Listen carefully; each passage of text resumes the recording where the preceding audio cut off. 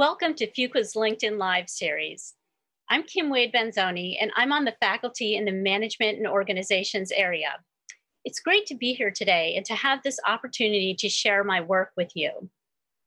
Today, I'm going to be talking about a line of work that explores the psychology of intergenerational decisions. I'm going to begin with a story of a wealthy and successful man who, one day in the year of 1888, following his brother's death, was reading what was supposed to be his brother's obituary in a French newspaper. But as he read, he realized that the newspaper editor had mistakenly confused the two brothers and had written the obituary for him instead. The headline proclaimed, The merchant of death is dead, and then described a man who had gained his wealth by helping people to kill one another. Not surprisingly, he was deeply troubled by this glimpse of what his legacy might have been had he actually died on that day. And it's believed that this incident was pivotal in motivating him to leave nearly his entire fortune following his actual death a few years later to fund awards each year to give to those whose work most benefited humanity. This is, of course, the true story of Alfred Nobel, the inventor of dynamite and the founder of the Nobel Prize. I tell this story to highlight a central motivator of intergenerational beneficence and one that I'll be talking about today.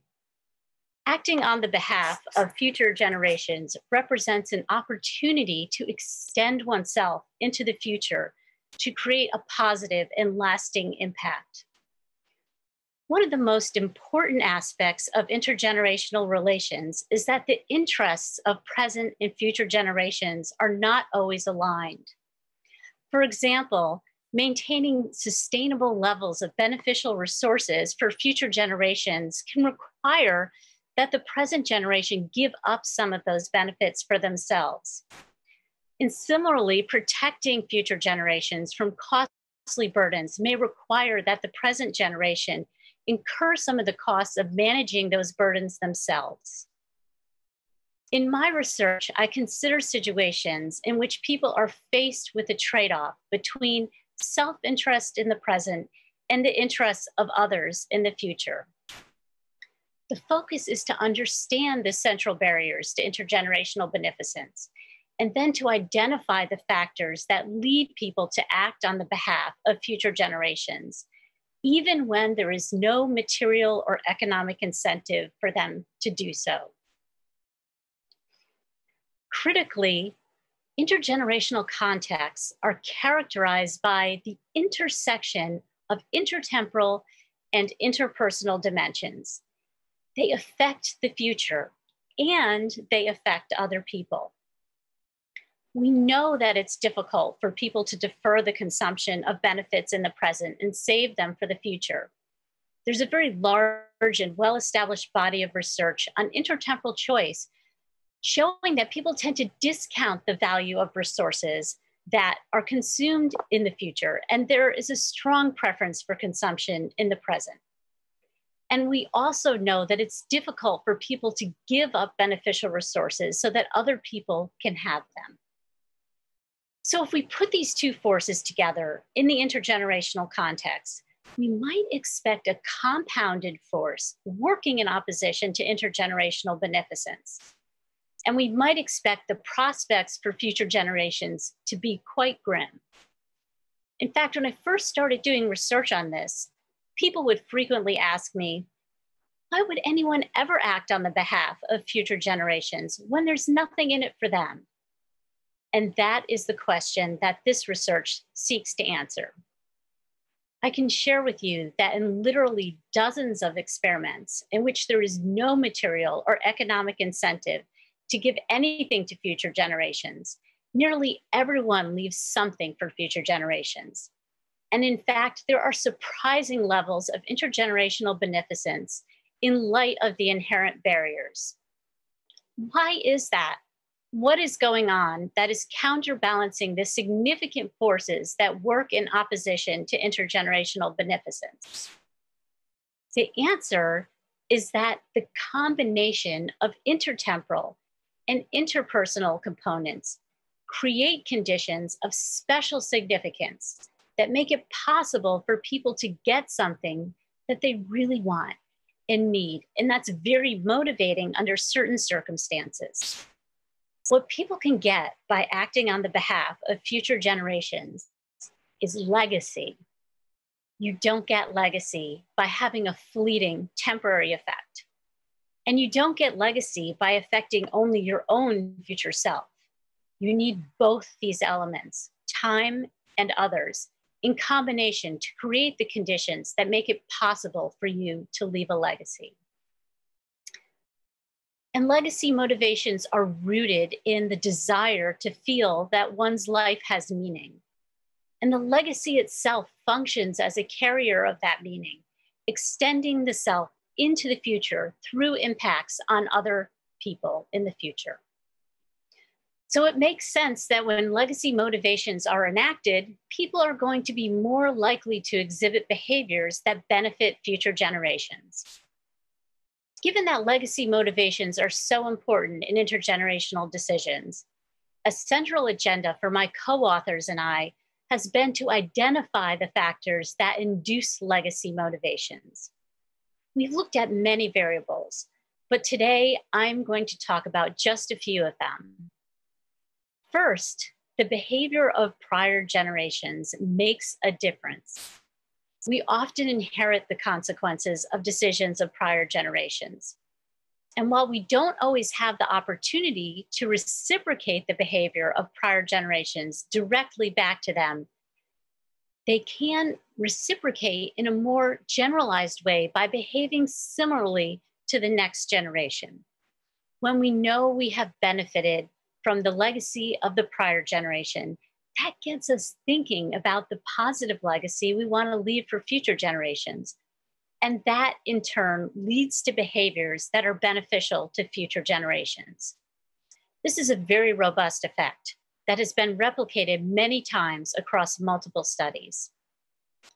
But my co authors and I wanted to take a closer look at this phenomenon to try to better understand some of its nuances in particular, we wanted to know what happens if the outcomes to subsequent generations don't match the intentions of prior generations.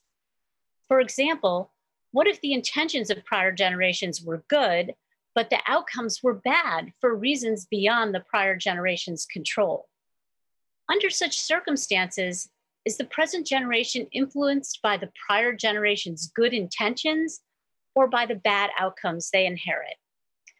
Along with co-authors Min Bang and Christy Zhou, in multiple studies, we found that people make their decisions based on the perceived intentions of previous generations rather than the actual outcomes inherited. As long as they have information about those intentions. When information about intentions is not available, that's when people infer intentions from outcomes and that can be problematic when intentions and outcomes are decoupled. Because intergenerational reciprocity is a double edged sword.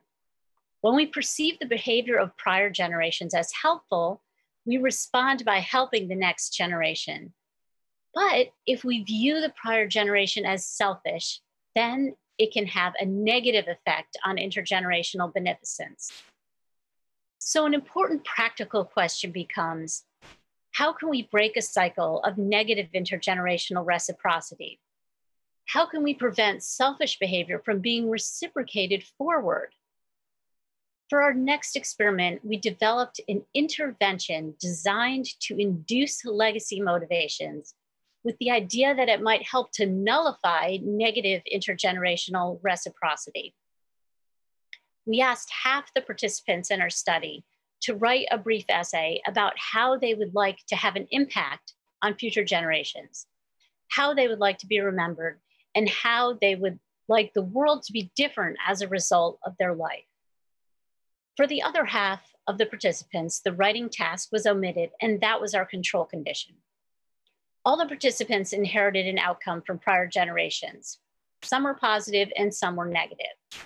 And we found that when we induced legacy motivations, it did indeed break that cycle of negative intergenerational reciprocity. Another variable we have looked at is power. This work is in collaboration with Leigh Tost and Hannah Johnson. Leaving a great legacy is arguably the most powerful thing you can do in your career in life because it enables you to have influence well into the future, even after you are out of the picture yourself.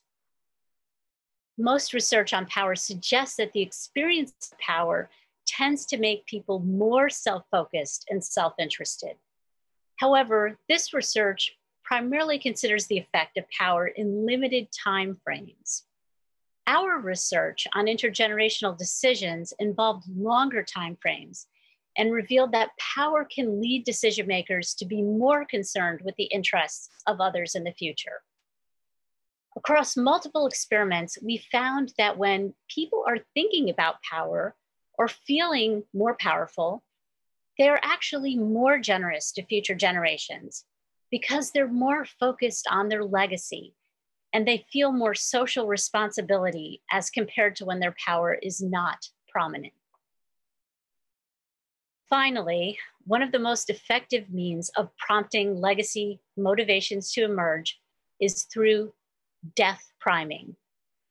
By death priming, I mean we remind people about death.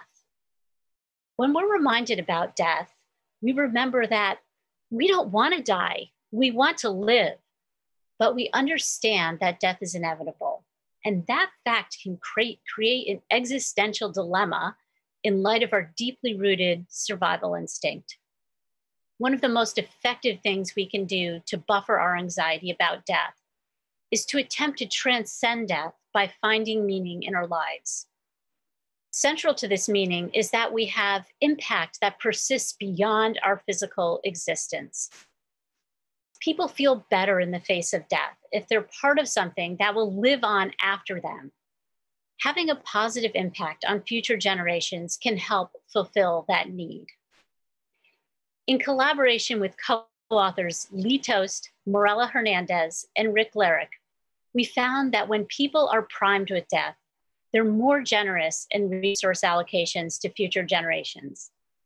And the way we manipulated death awareness was by having participants read different newspaper articles, which in some cases involved the death of a person, such as an article about a plane crash, and in some cases had no mention of death, such as an article about a mathematician solving a puzzle.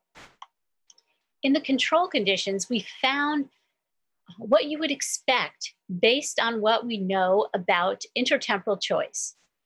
People value the resource more if it is consumed in the present as compared to the future.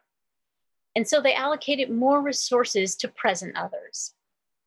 But when death was primed, we see a striking reversal of this effect, where people allocate more to others who will benefit in the future as compared to the present.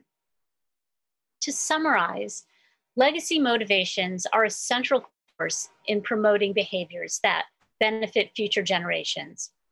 The desire to leave a legacy is one of the most powerful of human motivators because it addresses the fundamental need for life meaning by providing an avenue for self extension into the future beyond the constraints of mortal life.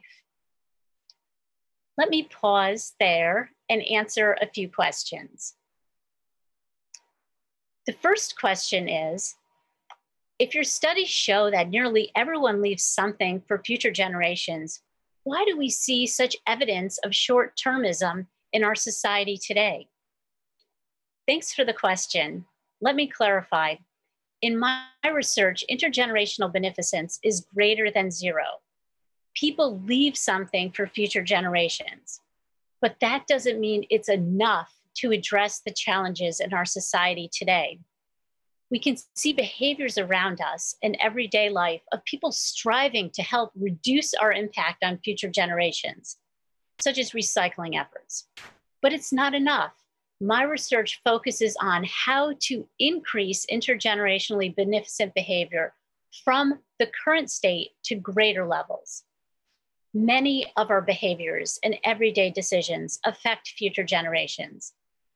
But that doesn't mean that we always recognize them for what they are.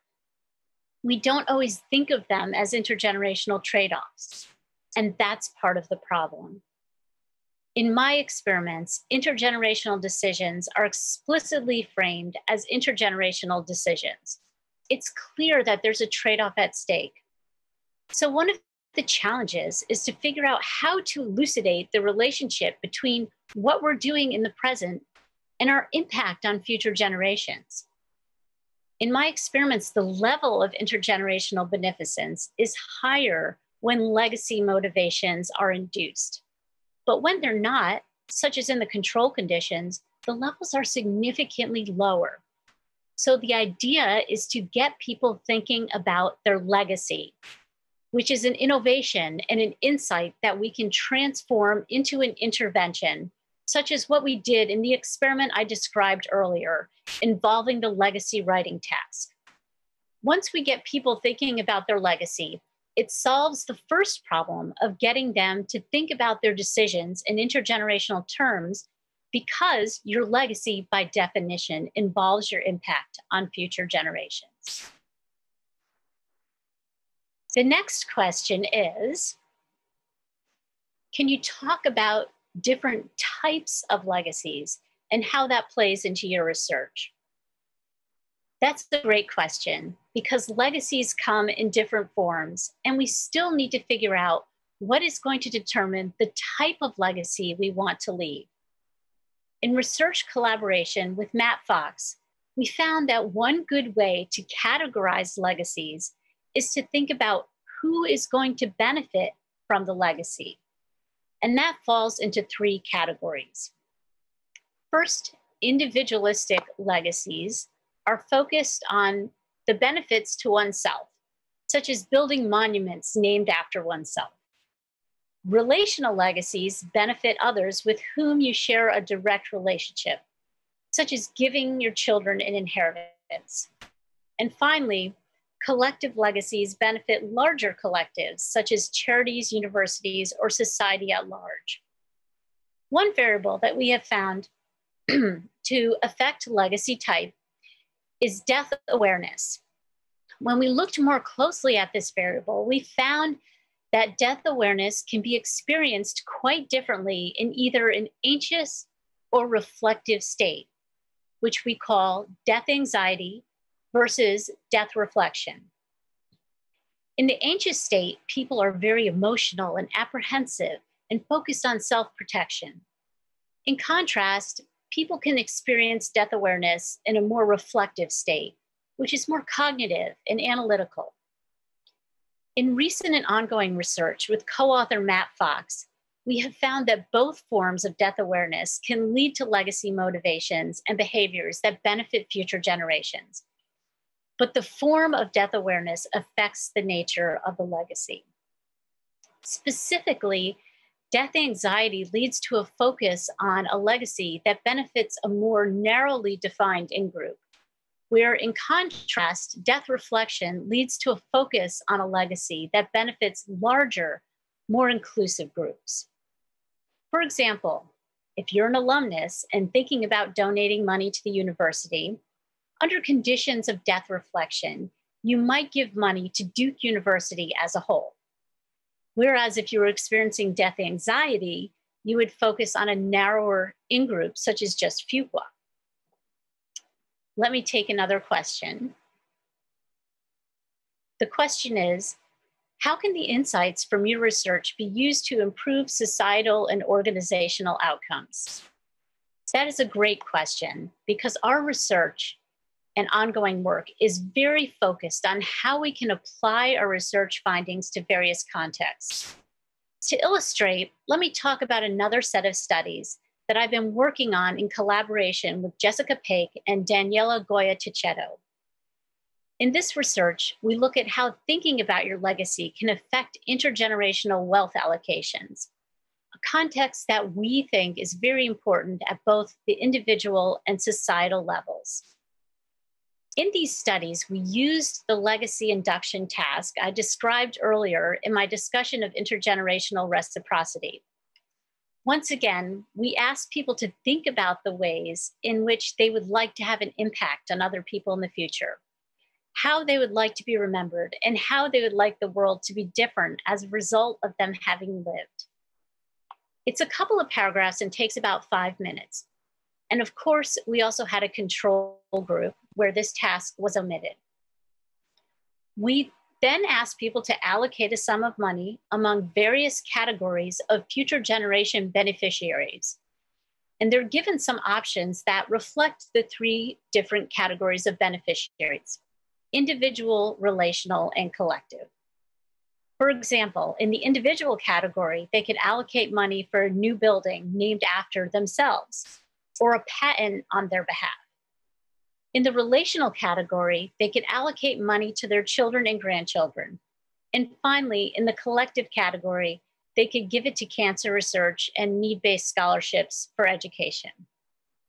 And what we found was that the legacy prime led to significant reductions in the amount allocated to relational categories, like one's own children, and a significant increase in that allocated to collectivistic categories like charities. And we replicated this effect across multiple studies. We call this shift in allocations from relational to collective categories the Andrew Carnegie effect, and I will explain why. Andrew Carnegie was the founder of Carnegie Steel Company and one of the richest Americans in history. He was known he was, but he was also known for his philanthropy, giving away 90% of his fortune, about 65 billion in today's dollars, to charities, foundations, and universities. He believed strongly that the rich should use their wealth to improve society and that it was a terrible idea for the rich to leave their money to their children. Addressing intergenerational challenges, such as global climate change, will entail motivating people to extend their goodwill beyond the borders of close relationships and directing it to collective causes. And our Legacy Prime is an effective intervention that can nudge people in this direction. As another example of an applied context, we have looked at how legacy motivations affect employees' well being. Organizational life is fertile ground for creating and transmitting a legacy. The organization can function as a beneficiary of an individual's legacy or as the legacy itself in cases in which new organizations are created. In collaboration with Daniela Goya Tocchetto, we found across multiple studies that legacy motivations are significantly related to job satisfaction, Specifically, greater legacy motivations lead to greater job satisfaction. And this is the case because feeling like you have created a, a legacy increases life and work meaning. So, helping people to recognize the organizational context as an opportunity to leave a legacy and thus make work more meaningful and satisfying opens an avenue for potentially improving employee well being, productivity, and motivation. The next question is Do people with more children exhibit more intergenerational beneficence? I get asked that question a lot. And I always collect information on demographics in my studies, including whether or not participants have children and how many. In my research, I have not found a consistent relationship between number of children or whether or not someone has children and how much they will sacrifice for future generations. But that doesn't mean there isn't a relationship. And I have a hypothesis based on my observations of the behavior of people around me. What I think happens is that having children makes people more the way they were before they had children. So if they were less likely to engage in intergenerationally sustainable behaviors before having children, then having children gives them a reason to continue along that path because they're so focused on taking care of their own children. In contrast, those who were high on intergenerationally sustainable behaviors before um, children become more so after having children because now they're worried about how about the world that their own children will inherit. So this is a nuanced relationship that requires longitudinal data collected before and after having children. And that nuance isn't going to be revealed by looking at the data I have in hand, which just looks at the correlation between children and behaviors at a single point in time. So that's how I think it works. But once again, to be clear, that is a hypothesis and not something shown by the data that has been collected to date. We're almost out of time. So I wanted to end with some concluding comments. In recent months, we've had a lot of urgent issues to deal with, especially public health and social injustice. But we don't want to lose sight of the fact that we're still in the middle of a global environmental crisis. That's still happening on top of all the other challenges facing us right now. Environmental scientists say that if we continue on our current trajectory, the natural disasters that we will experience, such as wildfires and hurricanes, in 10 to 20 years will be so severe and horrifying that we will look back on 2020 and say, those were the good old days. We don't have the option of choosing among the challenges of our time. We need to find integrative approaches that deal with our many societal challenges simultaneously. And taking the intergenerational perspective really helps elucidate how all these issues are interconnected global climate change is intertwined with public health and safety. And inequalities in society will be intensified as climate change escalates. We have a lot to do. The good news is that humans are incredibly innovative and resourceful and have a strong survival instinct. So hopefully we can put our heads together and figure out how to survive and thrive into the future. Thank you for joining the session today, and I hope you will join us next week when Professor Robert Swinney will be talking about the role of supply chains during COVID-19. Goodbye, everyone.